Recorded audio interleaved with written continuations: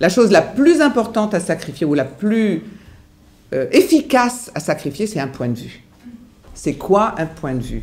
C'est je suis lent, je suis colérique, je suis vaniteux, tous ces badges, tous ces je suis qu'on se raconte. Il n'y a pas plus haut que de sacrifier son un point de vue de l'ego. Il n'y a pas plus haut.